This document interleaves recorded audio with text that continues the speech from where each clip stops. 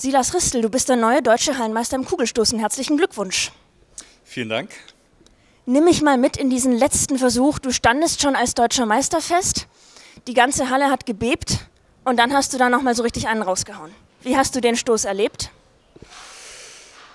Ja, eigentlich sehr gut. Die Energie, wo holt man die Energie her? Natürlich hier vom Publikum. Ähm, die pushen einen nochmal und dann, wenn alle dich anfeuern, dann ähm, ja, kriegt man nochmal die Energie raus und versucht nochmal ja, an die 20 Meter, so immer der Kugelstoßer äh, Traum zu stoßen.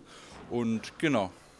Ja, zu den 20 Metern haben jetzt heute noch ein paar wenige Zentimeterchen gefehlt. Ist dann auch ein ganz kleines weinendes Auge dabei? Ja, vielleicht ein wenig, aber ich freue mich überhaupt, hier den deutschen Titel äh, haben zu dürfen. Du bist als Führender der Meldeliste hierher gekommen. Hast du dich im Vorfeld als Favorit gesehen?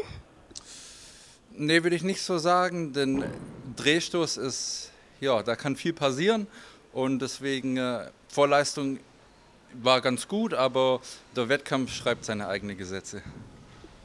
Du hast dich in dieser Hallensaison richtig toll verbessert und ins Blickfeld geschoben. Was läuft denn dieses Jahr so gut bei dir? Ich würde sagen, die Technik, auch mit dem Beruflichen passt jetzt alles und ähm, ja, viel an der Technik gearbeitet, im Kraftraum und der gesamte Umfang, der passt dieses Jahr sehr gut.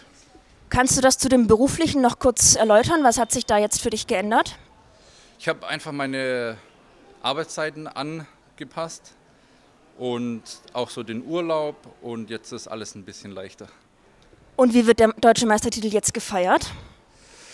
Ja, ich treffe mich jetzt erstmal mit meiner Familie, mit meiner Frau und dann ja, denke ich, dass wir heute Abend noch ein kühles Getränk trinken werden und ja, soweit mal noch nichts geplant. Wir werden sehen. Dann wünsche ich dir viel Spaß beim Feiern. Genieß es. Dankeschön.